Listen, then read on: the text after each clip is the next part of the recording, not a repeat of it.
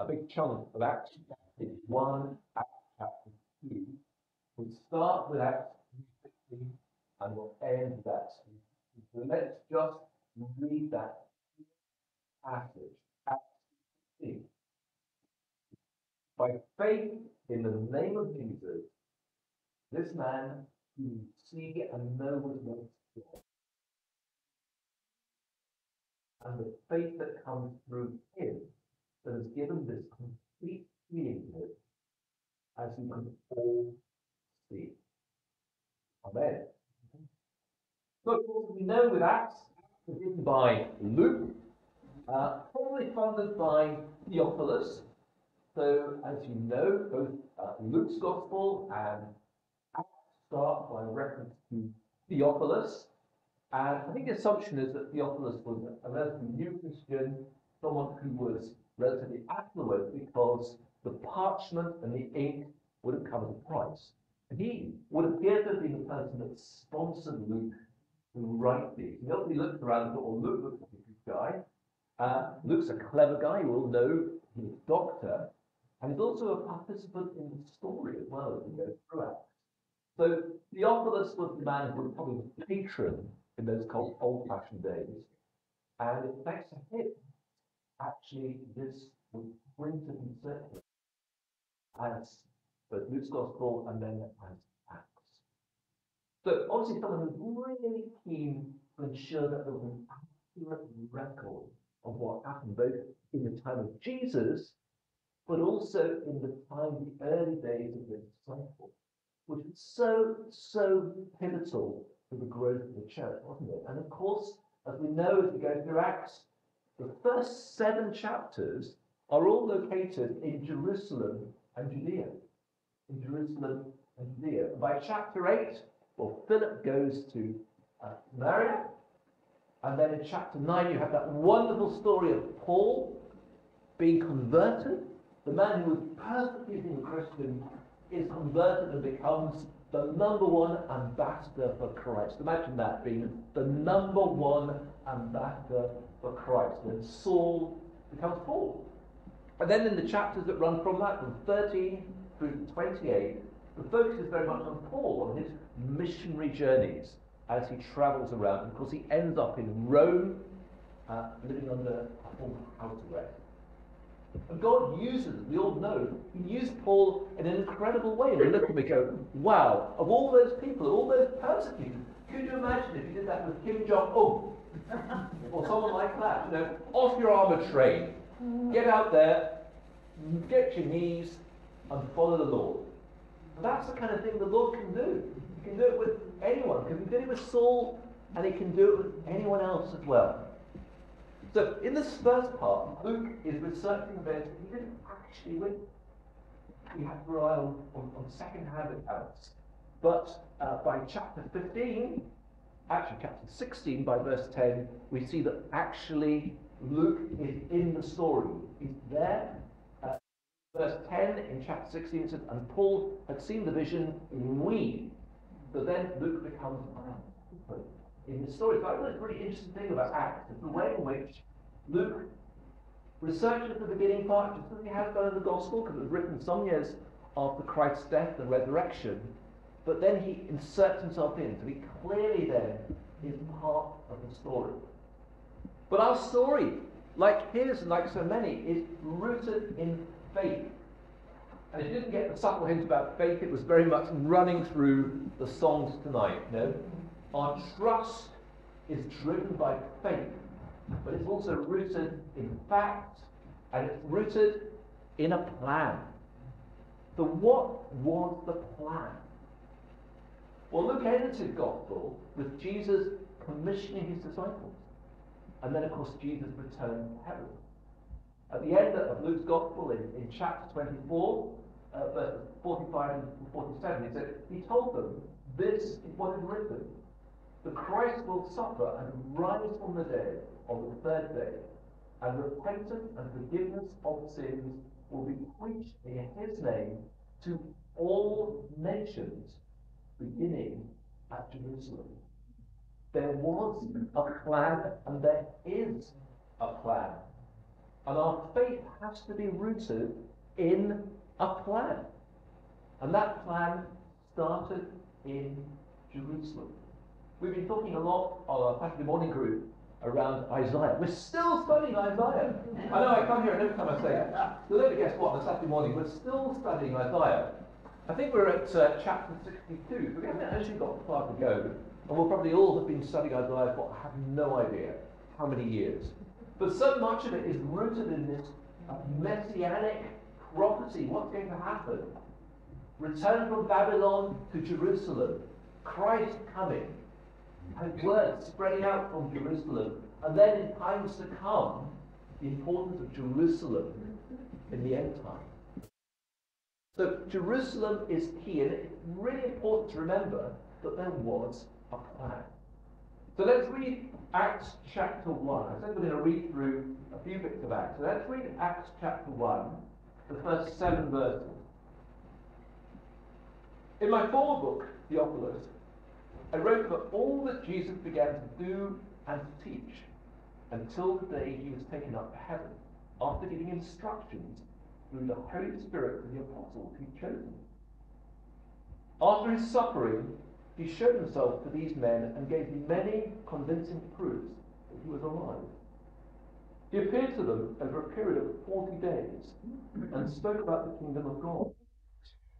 On one occasion, while he was eating with them, he gave them this command Do not leave Jerusalem, but wait for the gift of my Father promised you've heard me speak about. it?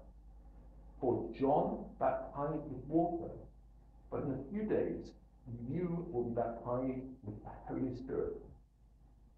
When they met together, they asked him, Lord, are you at this time going to restore the kingdom to Israel? He said to them, It's not for you to know times or dates the Father has set by his own authority, but you will receive power when the Holy Spirit comes on you, and you will be my witnesses in Jerusalem and in all Judea and Samaria and to the end of the earth. After this, he was taken up before their very eyes, and a cloud hid him from their sight. They were looking intently up into the sky as he was going, when suddenly two men dressed in white stood beside them. Men of Galilee, he said, why do you stand here looking into the sky? This same Jesus who's been taken from you into heaven will come back in the same way you've seen him go into heaven. will come back because there's a plan. And we need to have faith that that plan is real and it's really days teaching about the kingdom of God. And he told them, do not leave Jerusalem. There was a plan that they had to stick to. And actually, when God speaks to us, it's a pretty good idea if we do stick to what he tells us. We listen and we have faith that actually God has our best interest. It may be frustrating sometimes because we want to roar ahead and do this, this, this. But we need to have faith that God's plan is the plan that's going to work because it's God's plan. And what did he say? He said, Wait for the gift my Father promised. So Jesus began do and teach. Verse 1 it says that. And would continue, starting with his disciples and then the apostles. And of course, the word apostle means advocate. Are we advocates for God? We think of advocates in terms of legal role. In, in the Scottish legal system, an advocate is the equivalent of a, of a, of a, a barrister in England. Advocates are people who make the case. Do we make the case? Are we faithful enough that we make the case? And the plan always was start in Jerusalem and work your way out, like concentric circles, moving on.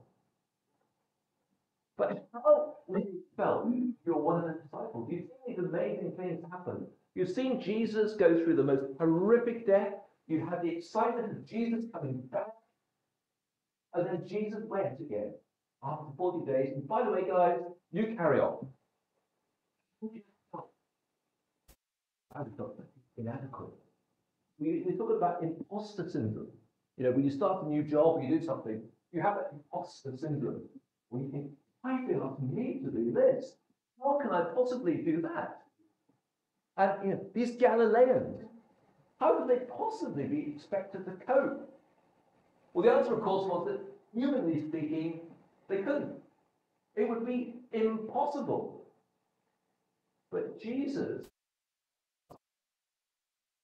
first of all, he'd given them authority. When you get the authority of the Lord, that's proper authority, isn't it? Not like your headmaster when you're at school telling you go and do this or go and do that. When Jesus tells you to do something, you kind of do it. You kind of do because he has a plan and we need to have that faith. So Jesus has given them authority. What does it say in, in Matthew's Gospel, chapter 10? Talking about Matthew earlier on. Jesus had given them authority to drive out evil spirits and to heal every disease and sickness. To heal every disease and sickness. And I guess we should be really clear on this that Jesus didn't expect his disciples to be a substitute for Jesus. There weren't a whole bunch of mini Jesus.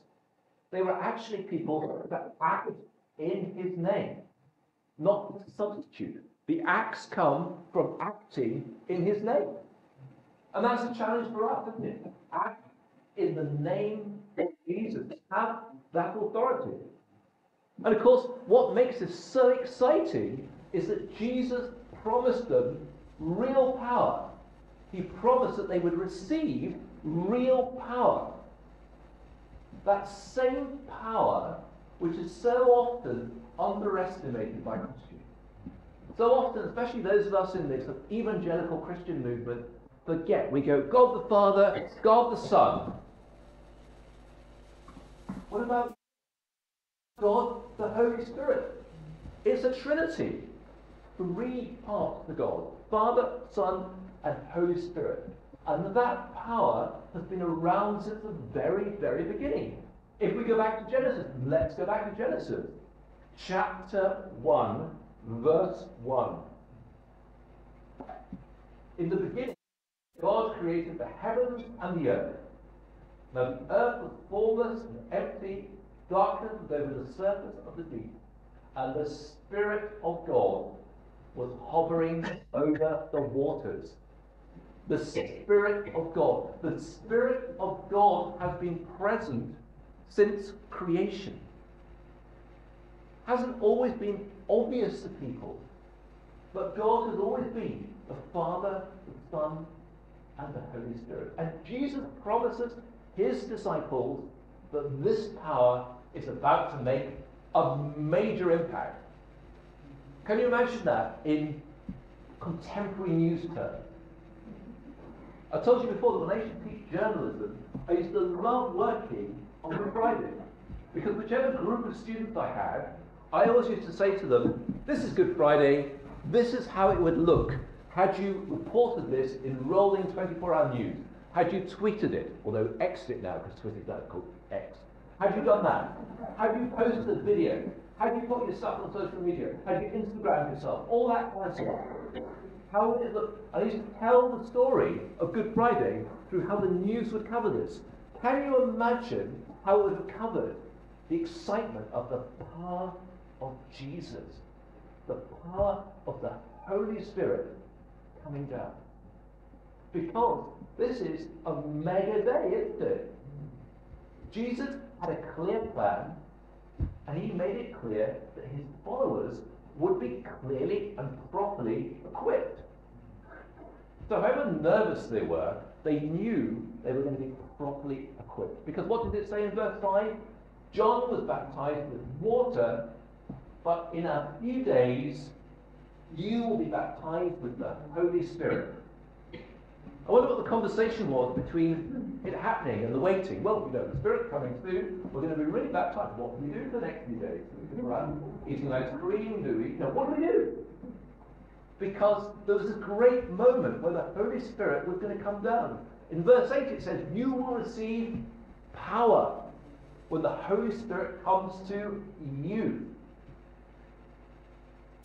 Powerful witness was going to spread, starting in Jerusalem, and then to all Judea, Samaria, and then to the ends of the earth. Because our faith is rooted in this power, this real power. So the plan was in place, and now it was time to receive the power. So let's have a look in chapter 2 of Acts, shall we? Chapter 2, reading from verse 1. When the day of Pentecost came, they were all together in one place. Suddenly, a sound like the blowing of a violent wind came from heaven and filled the whole house where they were sitting. They saw what seemed to be tongues of fire that separated and came to rest on each of them. All of them were filled with the Holy Spirit and began to speak in other tongues as the Spirit enabled them. Now there were staying in Jerusalem God fearing Jews from every nation under heaven. When they heard this sound, a crowd came together in bewilderment because each one heard them speaking in their language. Utterly amazed, they asked, Are these not the men who are speaking Galilean? Then how is it that each of us hears them in his own native language? Parthians, Medes, Elamites, residents of Mesopotamia, Judea, Cappadocia, Pontus and Asia, Phrygia and Pamphylia, Egypt and the parts of Libya near Cyrene. Visitors from Rome, both Jews and converts to Judaism, Cretans and Arabs, to hear them declaring the wonder of God in our tongues. Amazed and perplexed, they asked one another, What does this mean? Some, however, made fun of them and said, had too much wine. Always the way. Always somebody will say, Can't be true, can't be made up. When you hear about healings, and always somebody will say, No, that's what you think.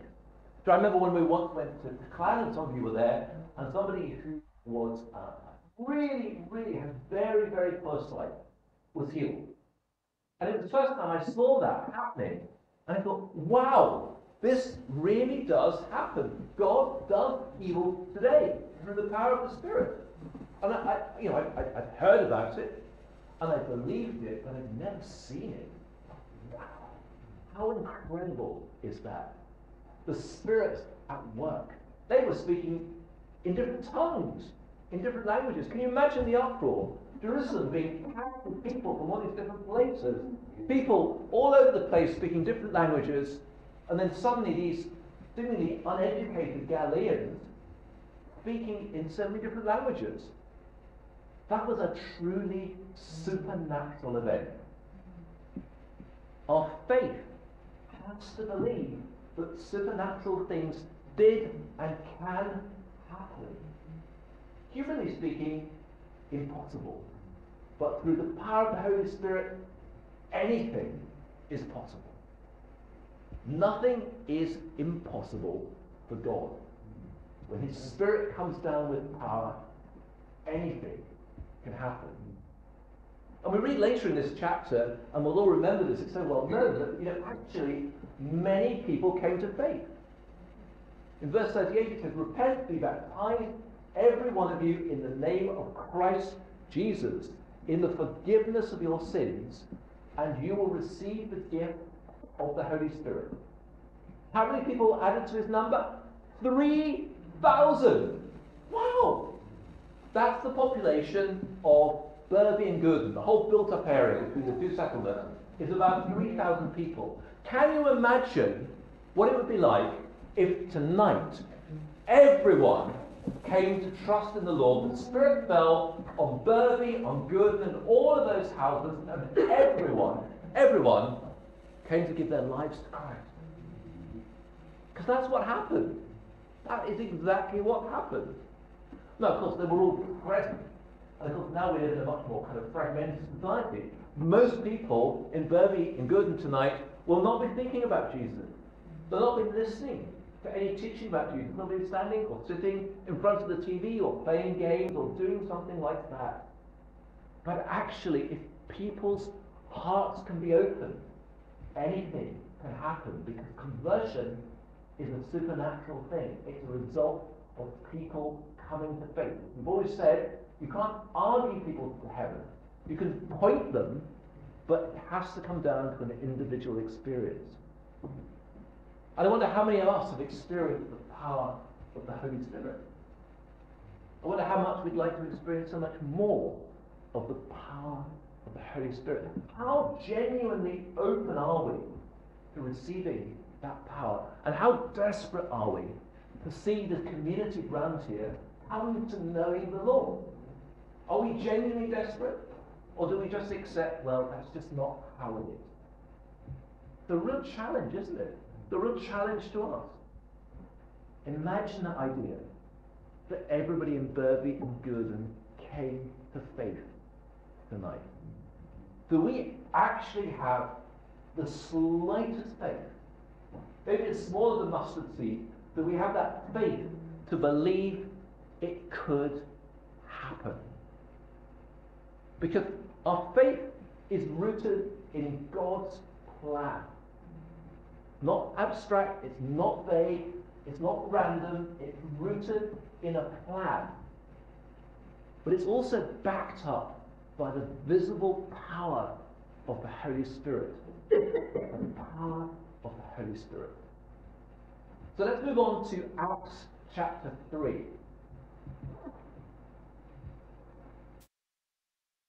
So reading from verse 1. One day, Peter and John were going up to the temple at the time of prayer, about three in the afternoon. Now a man crippled from birth was being carried to the temple gate called Beautiful, where he was put every day to beg from those who were going into the temple court. When he saw Peter and John about to enter, he asked them for money.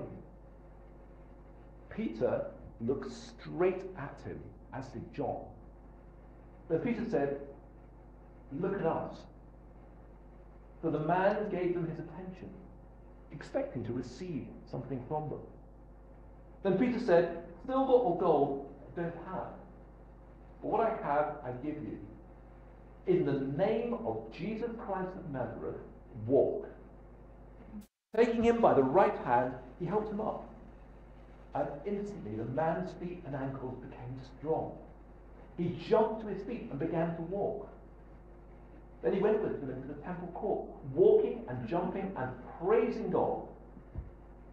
When all the people saw him walking and praising God, they recognized him as the same man who used to sit begging at the temple gate called Beautiful. And they were filled with wonder and amazement at what happened to him. While the held on to Peter and John, all the people were astonished and came running to them in the place called Solomon's Colonnade. When Peter saw this, he said to them, Men of Israel, why does this surprise you? Why do you stare at us as if by our own power of godliness we've made this man walk?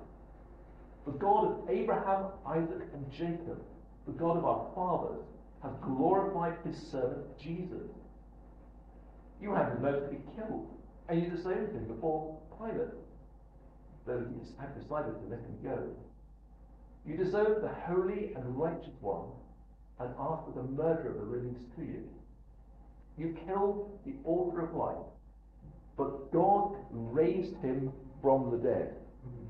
We are witnesses of this, and we are at 316. 316. By faith in the name of Jesus, this man who you see and know was made strong.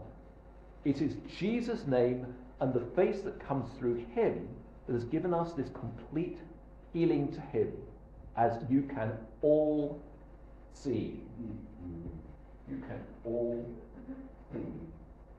So we have here, don't we, a picture of a man who was dropped at the temple gates every day, presumably just sitting there, being left to beg for money every day. If you've been to North Africa and apart from the Middle East, it's still common today. You, you see it. I remember noticing it in Egypt when I was uh, a few months ago in Egypt. And rather like beggars outside churches, you can assume it's probably quite a good place to get money. It pricks at the conscience, doesn't it? And you, you see it outside churches in Aberdeen, Where do people sit? Outside the church. Ching ching. Cash time. And actually, I wonder how much of it stayed with man. And how much of it was just being exploited by somebody else, as so often is the case. And it's worth noting that despite the big job, the job that Christ had given to focus on Jerusalem and then work your way out to spread the gospel, actually, in this situation, they still found time, Peter and John still found enough time to pray, to go to the temple. And of course, they were Jewish, and therefore they followed many of the Jewish traditions. The difference, of course, was that they knew that this had reached its climax in Jesus as the Messiah. But they still prayed. And that's another challenge for us. It's a real challenge in our busy lives is finding time to pray. We're full of faith, but that faith can weaken. Our faith is strengthened when we're praying and talking to the Lord. But they still have time for the individual. So I love thinking about big plan. You know, what was the big political picture here? What's the big future for this country? Or what's the big future for this, that, and the other? And so often when you get involved in thinking about strategy, you forget that actually, when it comes to God's Word, it's a one on one thing. It's about caring for individuals. It's about seeing individuals. And the question I'm most likely to ask God is, how can you see us all and know us all individually? It blows my mind that you can have an individual relationship with you, you, you, all of us, and still control the world. That feels like more than enough responsibility for anyone. But God is God. And as the disciples in that era and as us as disciples now, we have a responsibility for individuals, one on one. And this is a classic case. This man, he was there begging, expecting to get money, but in fact, what Peter and John offered him was something far beyond gold and silver. It was something of a new life. Not in the name of Peter, not in the name of John, but in the name of Jesus. And again, what a challenge to us that we call on the name of Jesus.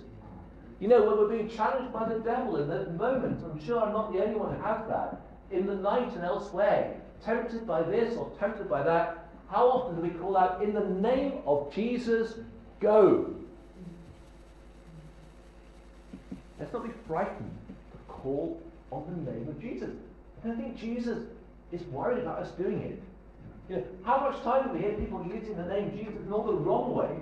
Maybe a few more times we should be using it in the right ways. In Jesus' name. So what's happening in verse 7? Instantly, instantly, the man's feet and ankles become strong. We have so many people in this fellowship, and more broadly in the community, who've got really, really difficult health problems at the moment. And I'm not saying that they're all going to be healed by the power of the Holy Spirit tonight or in the days ahead. But it is our responsibility to pray for those people and to call on the Spirit because people do get healed. Not for us to say who does and who doesn't, but people do get healed. And I'm sure many of us have seen that experience the real. And this case was stunning. Instantly, it happened. How exciting was that? What did he do? He went walking, jumping, and most importantly, praising God. Walking, jumping, do the walking, I could do the jumping, and I think I do better at the praising. praising God. How important is that? What did the people say when they saw this? They were, oh! They were filled with wonder and amazement, it says in verse 10, at what happened to them. You can imagine they would be. They've seen this guy for ages, just there. And we can think about similar miracles that Jesus performed. And then suddenly, all changed. You can imagine the commotion that followed. There was a mad rush to this area known as Solomon's Colonnade. Quick, everyone to Solomon's Colonnade. I don't think you would have to shout it. I think people just would have gone to find out what was going on. And we have this picture of Peter and John, and it says that the beggar holding on to them. I guess it's kind of like this, you know. He was just, you know, in awe of this. Let them go. And, and you know, like a child, you know, when a child holds on to you and doesn't let you go. I think it would be much the same that you know this guy who was healed just wouldn't want to let go of them because he'd been given something that was so new. And I imagine he had one hand praising the Lord and the other one grabbing onto poor old Peter's leg and saying, "Come on, let me go." But maybe not. But even like Galilean accent, we'd say, "Carry on, let me go." But essentially, it would have been a commotion. It would have been a real commotion. And all this stuff's going on. And we have this picture of all this chaos. So it sounds like a good time for speech. Now, to be honest with you, every time is a good time for speech. You know, a number of occasions I've been at, a number of dinners I go to, events I go to, and I kind of, you know, feel the need to say something. And they always go, oh, Andrew, want to say something then? And I the right people. Uh, so I do occasionally write speeches, quite often actually write speeches to people, but actually, it's always a good time for a speech. But the Holy Spirit didn't just equip Peter to heal people, he also gave him the right words at the right time. Yeah, and for those people who struggle to speak, remember that actually the Holy Spirit does give you the right words at the right time. Because there's a reason for that. Despite the power, there's going to be opposition. And you need that power to confront that opposition. Let's go back to Matthew chapter 10, verse from verse 17 to 20. What did Jesus say? Be on your guard against men. They will hand you over to local councils and flog you in their synagogues. On my account, you'll be brought before governors and kings as witnesses to them and to the Gentiles. But do not worry about what to say or how to say it at that time, you'll be given what to say. For it will not be as you speaking, but the Spirit of your Father speaking through you. Isn't that just great? Isn't that great sense of confidence? The Spirit of your Father. And of course, what happens is Peter doesn't hold back. He just goes, goes for it. Now, of course, it's hard for us in our culture to know when to go for it, when not to. And most of the answer is we probably don't unless we're in front of a group of Christians like this, where it's easy. Dead easy to speak amongst a group of believers. Much tougher to go around the corner into the pub and have the same conversation. A million times tougher. So there's all this ramming going on, and Peter starts by giving a bit of context. You know, God glorified Jesus. But then, he cuts to the chase based on his own personal witness because he was around and he saw it for himself. You handed him over to be killed in verse 13. You disowned the holy and righteous one in verse 14. You killed the author of life in verse 15. So he's pretty tough on them. Pretty tough on them. Because he had an opportunity to do that. Because actually an opportunity had arisen. Been a healing and he could talk about it. And we need to pray for opportunities that come along to give us it. It's, I'm, not a great fan of walking with a sandwich board up and down the high street going, the end is night. I, I, I recognize that people that do that do it from a position of faith, but I'm not sure it actually makes much difference. I think we need opportunities for witnessing. We were talking about the Dutch earlier on, or Mike was talking about the Dutch. Uh, I had, I, when I flew to the Netherlands a couple of weeks ago, I had a great conversation with a guy all the way to the Netherlands on the plane. I never saw the plane take off. Next thing I knew, we were in Amsterdam, and I hadn't noticed the journey at all. Now, we talked about lots and lots of things, which was great. Really, really nice guy. We talked about loads of things. But I did talk a bit about how I spend my Sunday. I did talk a bit about my children and what they do. And he talked about how he used to go to Sunday school. So I'm not saying that I took him all the way on that journey to a point at which he gave his life to Christ. But I am saying I'm not frightened to raise these points in ways that bring people together. And then God will open up opportunities if you think that's appropriate. So we do need the courage and the power of the Holy Spirit to speak. So actually now, we're back at Acts chapter 3, verse 16, where we started. The beggar, he's known to lots of people. He's healed by faith in the name of Jesus.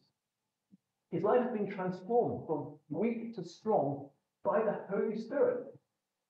And it happened by calling on the name of Jesus.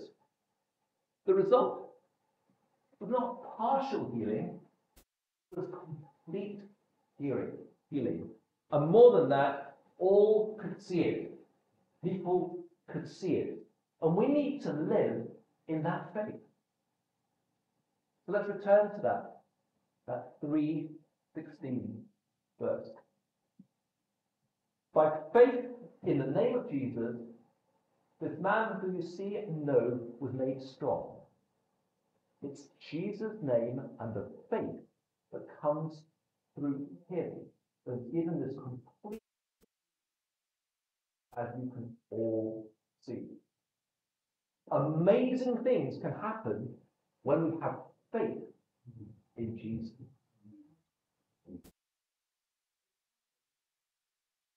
By calling on the name of Jesus and by the power of the Holy Spirit. Power of the Holy Spirit. God the Father, God the Son, God the Holy Spirit. Our challenge tonight is are we seeking the Holy Spirit in all that we do? So, great to stand, please feel free to do so. Sing uh, a short song that you're probably very familiar with one. Sing that the Spirit come down on us.